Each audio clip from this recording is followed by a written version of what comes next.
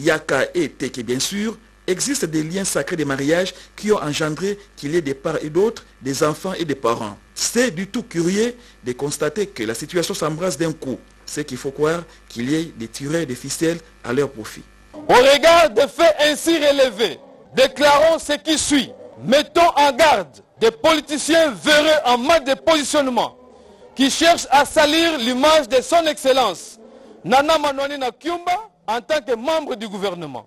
Rappelons à tous les pêcheurs en eau trouble que son excellence Nana Manouani Nakyumba est l'un des leaders aux mains propres qui n'a aucun intérêt à voir son territoire sombrer dans le chaos, car on est leader des vivants et non des morts. Réitérons notre soutien indéfectible au chef de l'État, son Excellence Félix Antoine Tshisekedi Chilombo, qui ne ménage aucun effort pour maintenir à tout prix la paix, l'unité, la cohésion nationale sur toute l'étendue de la République.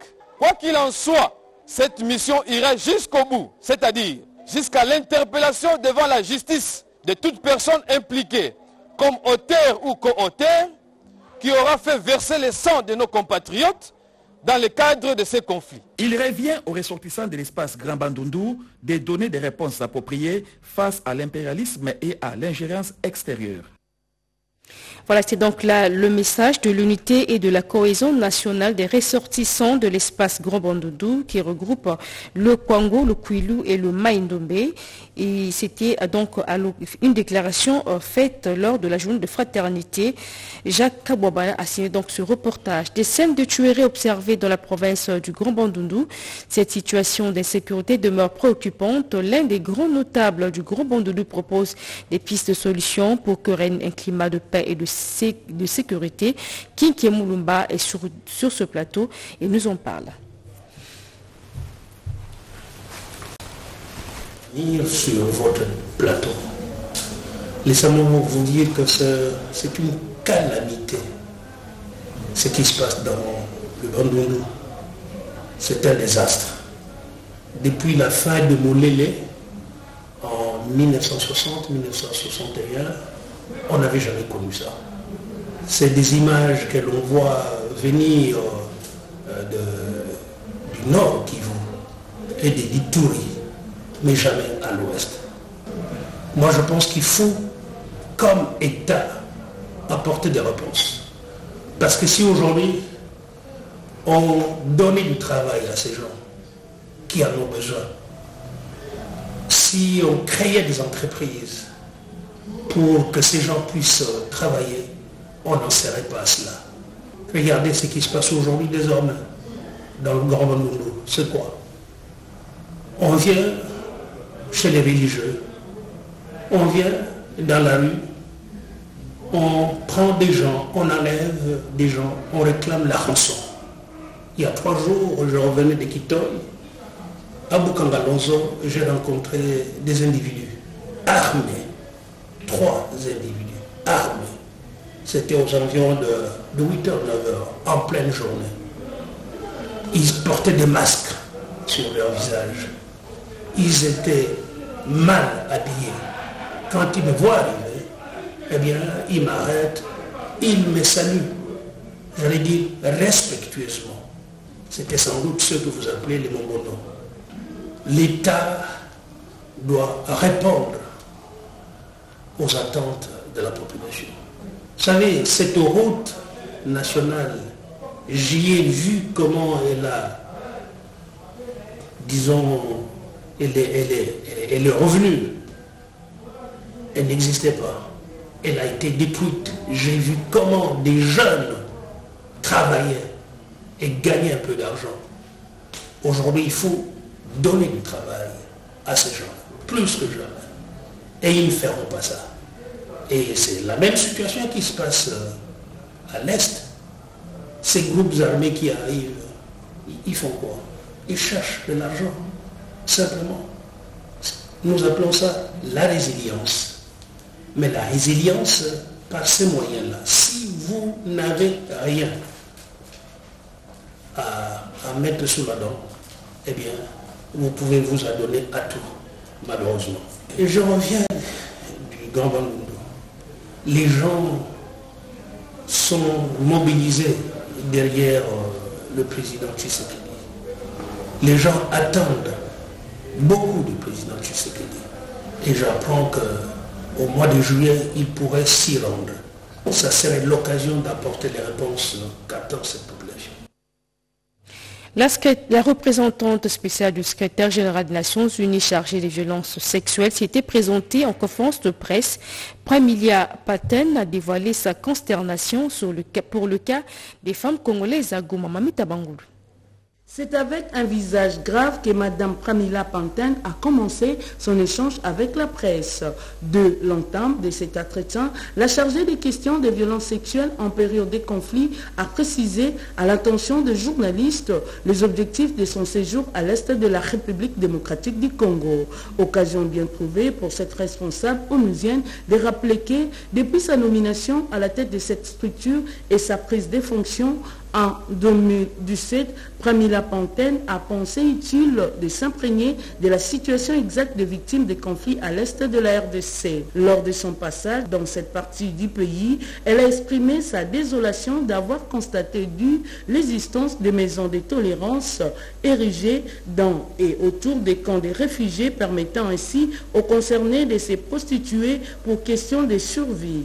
Certaines femmes mariées ne sont pas épargnées, a-t-elle indiqué depuis la résolution 2331 du Conseil de sécurité, euh, la, question de traite pour les besoins d'exploitation sexuelle euh, fait partie de mon mandat. Je suis venu, je suis à ma quatrième visite de ce, phénomène, voir des maisons closes qu'on appelle maisons de tolérance qui opèrent au grand, au grand jour. Les maisons de tolérance, les violences sexuelles en tant que tactique de guerre, existe depuis l'histoire de la guerre. C'est le crime le moins condamné, le plus invisible euh, qui, a existé. C'est le crime qui, a toujours euh, passé sous, silence. Renseignement pris sur le terrain, Madame Pantin dispose d'un bagage d'éléments utiles pour mieux élaborer son plaidoyer. Son rôle consiste à réunir des éléments nécessaires sur les violences en temps de conflit.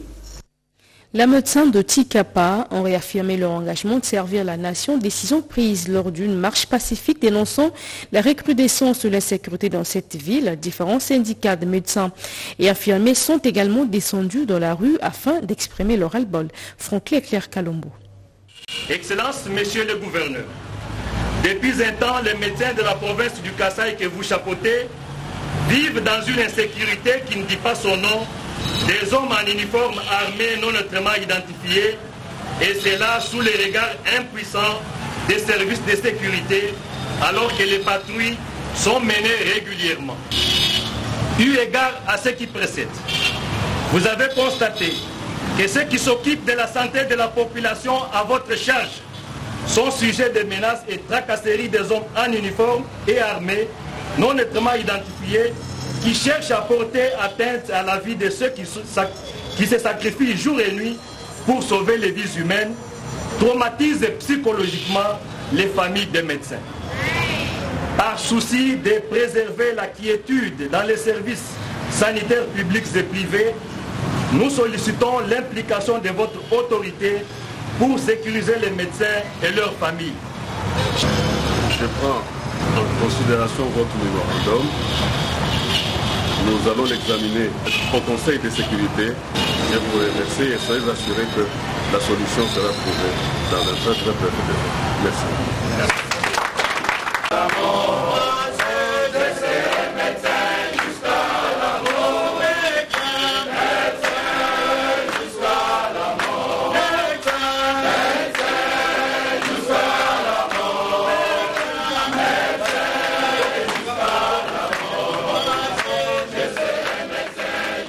Des champs de manioc et de maïs sont installés à Kwango pour la survie de plusieurs ménages, exécutés par l'entreprise de consultance et le service agricole RDC financé par la Banque mondiale. Ce projet rentre dans le cadre du programme Village agricole mis en place par le gouvernement. Jean-Richard. Dans le souci de promouvoir la sécurité alimentaire et d'améliorer les conditions de vie de petits producteurs dans les milieux ruraux en République démocratique du Congo, le programme Villages agricoles a été mis en place par le gouvernement. C'est dans cette optique que justement des vastes champs de manioc et de maïs sont installés avec l'appui de projets d'appui au développement intégré de l'économie rurale exécutés par l'entreprise de consultance et de services agricoles en RDC et financés par la Banque africaine des développements. Une initiative qui est à la rescousse de plusieurs ménages dans le grand bassin du Kwango, possédant trois grandes brigades agricoles dans la province du Kwango, dont 422 hectares de maïs et 1200 hectares de manioc pour la production de farine panifiable et fermentée. L'ECOSAC travaille en collaboration avec les ménages de cette province qui reçoivent 60% de leur production. Et pour faciliter la vente, l'opérateur rachète également 60% pour la transformation. L'objectif, c'est de pouvoir améliorer le revenu des ménages agricoles dans les milieux ruraux. Ces ménages qui produisent, mais qui généralement vivent dans les milieux dans des conditions précaires. Ils ont 60% de production, nous, nous avons 40%. Et 40%, c'est pour nous permettre d'appuyer les autres ménages et puis faire fonctionner la structure. Un projet exécuté malgré l'insécurité qui prévaut dans cette partie du pays. Évidemment qu'il y a eu des, euh, des combats entre la milice Mugondo et puis euh, notre armée. Alors ça fait que beaucoup de ménages dans certains villages ont fui le village. Nous sommes en train de collaborer avec eux. Nous les conscientisons. Liant la parole à l'acte, les ménages perçoivent bel et bien leur argent après la récolte. Autre chose, la route nationale numéro 5, tronçon compris entre Bukavu et Kindu, les travaux anti-érosifs exécutés se poursuivent à la grande satisfaction de la population de ce coin du pays.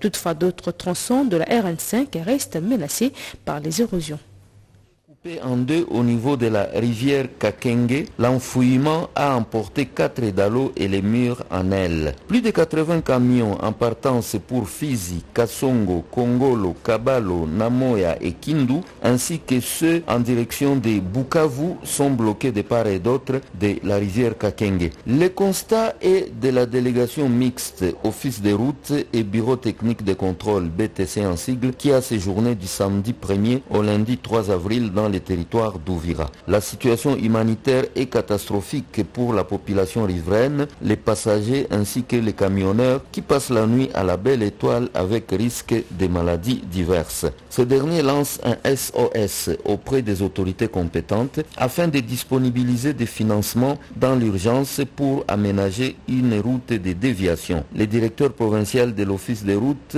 Sud Kivu, l'ingénieur Anissé Kakesata Mukombo et d'autres membres de la délégation se battent pour établir et transmettre un devis auprès de la hiérarchie à Kinshasa. La délégation a fait aussi un état des lieux du pont de déviation de la rivière Sangé où les conteneurs, après deux ans, commencent à s'effondrer suite à la corrosion qui risque encore de couper les trafics si rien n'est fait dans l'urgence. Après Sangé, la délégation a visité aussi les ponts Kavuguvugu, les dallos de Kala 3 en effondrement où les véhicules passent difficilement. L'ingénieur Roger Kimpanga du bureau technique des contrôles donne des précisions. La population d'Ouvira sollicite auprès du gouvernement central le financement de la construction des ponts définitifs de la rivière Sangue et autres ouvrages pour mettre fin aux problèmes une nouvelle route appelée Corridor Oriental va bientôt relier toutes les provinces de la Grande Orientale.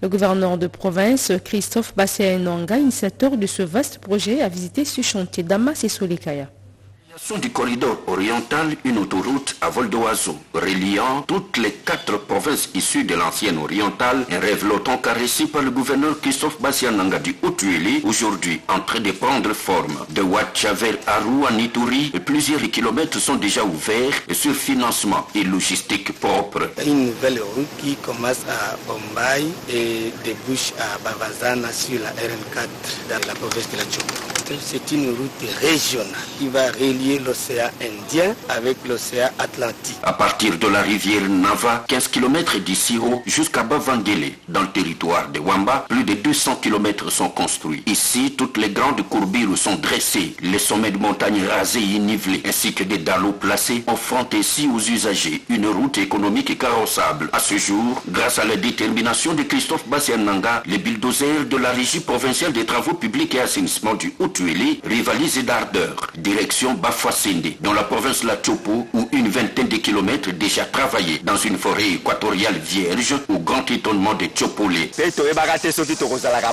Jamais nous avons cru être dans ces conditions, errer à nous et malheur au mauvais esprit. Pour la route, nous avons souffert à faire le pied difficilement. Aujourd'hui, nous sommes libérés.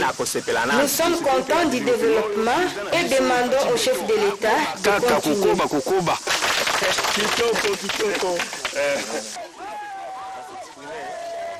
Parlons justice dans ce journal avec le procureur général de Maïndombe. Ce dernier était avec les acteurs judiciaires de cette province pour des nouvelles directives. Ces images vous sont commentées par Rodé Panda. Le barreau de Maïndombe va totaliser cette année trois ans depuis sa création en 2020. La célébration de ce qui s'affiche déjà comme un événement pour les juristes et acteurs de la justice au Maïndombe est prévue le 30 juin prochain. Par cette occasion, les avocats de la 10e promotion évoluant dans différentes provinces de la RDC vont renouveler leur serment devant le procureur général de la République où le premier président de la Cour de cassation a indiqué le bâtonnier du barreau de Maïndombe, Mputu Juribal Mukazina. À la population de Kwamut qui doit aller se faire enrôler, Juribal Mputu Mukazina invite tout le monde à un enrôlement massif et il a renchéri en les invitant de ne jamais avoir peur de l'insécurité. Le gouvernement de la République a pris toutes les dispositions sécuritaires pour que tout se déroule bien. Nous étions inquiets qu'un de nos territoires n'ait pas participé à l'enrôlement. Et dans le souverain nous avons insisté sur le fait que le pouvoir appartient au peuple. Donc c'est une joie pour nous, l'enrôlement de Kwamutu. Nous sommes l'obligation d'expliquer aux uns et aux autres que euh, il y a un du PG, du procureur général, avait fait que le premier président de la Cour suprême avait demandé à tous nos hauts magistrats de rentrer à Kinshasa. Donc le barreau est prêt, la Cour d'appel. Les rendez-vous est donc pris pour les serments des avocats. Matinée scientifique à Kinshasa sur la jeunesse comme acteur catalyseur pour l'émergence de la RDC. L'objectif est de renforcer la connaissance des participants sur la notion de leadership. Travaux organisés à l'Université catholique du Congo. Iverson Kaboba. Axé sur la jeunesse comme catalyseur pour l'émergence de la République démocratique du Congo, le salon d'échange s'est fixé entre autres comme objectif renforcer davantage leur connaissance sur le leadership à travers l'art oratoire. En dehors de cette assertion, développer l'esprit de concentration et de gestion du temps a fait savoir l'un des animateurs, Stéphane Yuma, initiateur de la dynamique femme de l'UCC. Pour Kietia Divine Misea, étudiante en Master 2 à la faculté des droits, ces cadres d'échange visent la création d'une synergie pour inciter les jeunes étudiants à l'esprit de l'innovation. Il était question de définir les responsabilités jeunes part, et d'autre part de pouvoir établir aussi les responsabilités des parties prenantes, à savoir des autorités étatiques. Nous avons lancé une campagne dénommée Celles qui ont osé pour euh, justement promouvoir des leaderships féminins. Olé Lazaïna Benjamin, étudiante en Master 1 faculté de la communication sociale, a livré ses impressions à l'issue de ce salon d'échange. Nous avons reçu le toutes nos filles de la dynamique femme ICC, des certificats qui prouvent que nous, sommes sortis de notre zone de confort parce que être leader dans un groupe ou dans une équipe féminine n'est pas facile. Surtout sommes dans une, dans une université ou un univers où nous sommes euh, confrontés à plusieurs difficultés, nous femmes, et sortir de sa zone de confort est très nécessaire pour une femme, euh, peu importe son rang social. Une journée marquée par la remise des certificats de mérite à quelques femmes leaders de la dynamique femme de l'ICC, une manière de les encourager dans l'exercice de leurs tâches durant leur cursus universitaire. Une activité spéciale pour la célébration de la fête des mères. Euh, les femmes de la firme textile Vlisco et autres maisons ont récompensé quelques femmes de la capitale Kinshasa. Images et commentaires festivité de la fête de mer, commémorée dernièrement en RDC, la firme textile Vlisco, en collaboration avec les boutiques La Maison d'Épargne, Okapi, Marie Inc., Nyota et autres, a pris le réel plaisir de récompenser certaines forces vives socio-féminines congolaises, clientes fidèles, afin de les rappeler comment elles sont de mères formidables et des clientes exceptionnelles.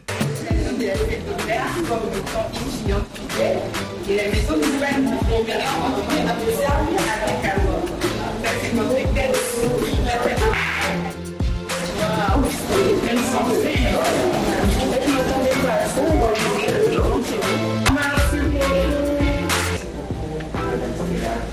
É o que se tem que.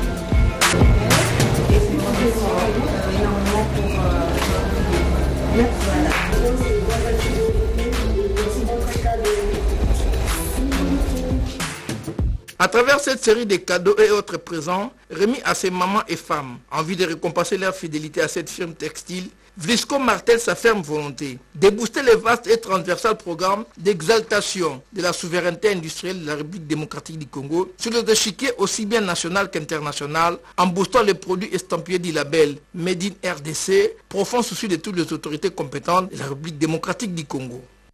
Autre chose, clôture à Kinshasa des travaux d'évaluation esprit de vie par le ministre des Transports rencontre qui a connu la participation de toutes les parties prenantes au programme gouvernement esprit de vie. On en parle avec José Baïtoambo. À l'issue de l'atelier de trois jours sur l'évaluation du programme gouvernemental Esprit de vie pour le renforcement de sa gouvernance et son extension en province, le ministre des Transports, Voies des Communications et des Enclavements, Maître Marqué Kilali Kombo, a clôturé le travaux ce samedi. Le bilan de neuf premières années est calamiteux et décevant, mais Marc et Kilali Kombo en sort satisfait et même très satisfait des résolutions prises par les experts dans la perspective de redynamiser ces programmes gouvernementaux. Un nouveau cadre permanent était institué. Objectif renouveler les charrois automobiles conformément à la volonté du chef de l'État, Félix Antoine Tshisekedi Chilombo, de déployer le programme Esprit des vies en province ou encore lui doter d'un siège social digne de ses nouvelles ambitions. Nous avons un programme Esprit de vie qui n'était pas à mesure de se reconstituer en lui-même un stock, pendant qu'il y avait les acquéreurs qui déternaient les créances sous ces programmes-là. Et avec les résolutions qui, viennent d'être prises, et ça cadre vraiment avec la vision que j'ai sur la question, notamment de considérer que le programme Esprit de vie peut permettre d'avoir une classe moyenne dans ces pays. Et aussi, je suis également satisfait parce que ce que je voulais, une des recommandations vient de le faire, c'est que nous allons déployer les programmes euh, Esprit de vie en province dans la perspective de créer un peu une classe moyenne en, en province. Le ministre a recommandé d'ouvrir le partenariat à d'autres associations sans frustrer les deux premières APESCO et GT en vue d'encourager la concurrence et l'autonomie financière des esprits de vie. Avec le nouveau cadre juridique où la coordination est au centre de décision, le ministre essaye d'impulser une dynamique positive à l'esprit de vie neuf ans après son lancement. Il entamé une tournée à travers le pays. Le représentant légal de l'Union des églises indépendantes du Congo sensibilise les chrétiens à s'engager politiquement. Dédié à Dieu par le chef de l'État, Félix Antoine Tshisekedi, la République démocratique du Congo demeure une nation prophétique. Pour se conformer à cette vision prophétique, le représentant légal de l'Union des églises indépendantes du Congo, l'archevêque Monseigneur Léonard Matemwe Lambalamba, a sillonné plusieurs provinces du pays. Objectif, sensibiliser les chrétiens à s'engager politiquement pour un Congo nouveau et à soutenir les présidents de la République. L'Éternel a parlé à plusieurs reprises, de plusieurs manières et à plusieurs serviteurs de Dieu que ce pays est une nation prophétique que ce pays est un paradis. Mais comment nous pouvons y arriver? C'est ça le grand problème pour nous. C'est ainsi que nous disons aux communautés chrétiennes, les enfants de Dieu de toute confession religieuse, nous devons élire les enfants de Dieu partout. Alors nous demandons aux politiciens qui nous suivent, qui ont besoin de notre base électorale, qu'ils s'associent à nous, qu'ils viennent vers nous. Et nous voudrons que tous les enfants de Dieu qui veulent que ce pays marche se joignent à nous et déposent leur candidature afin que le travail que nous sommes en train de faire à l'interne puisse aller de l'avant. Pour cette fois-ci, les voix des enfants de Dieu ne seront que pour les candidats enfants de Dieu. Le visionnaire et fondateur du Rassemblement des enfants de Dieu pour la transformation du Congo a animé plusieurs conférences, débats et campagnes populaires, notamment à Lubumbashi, Kasumbalesa, Kolowezi, Kindu, Matadi, Kisangani et Kinshasa. Thème choisi, un autre Congo. Et c'est la fin de ce journal. Merci de l'avoir suivi. Je vous retrouve à 19h pour un nouveau point d'actualité sur la chaîne nationale. Au revoir.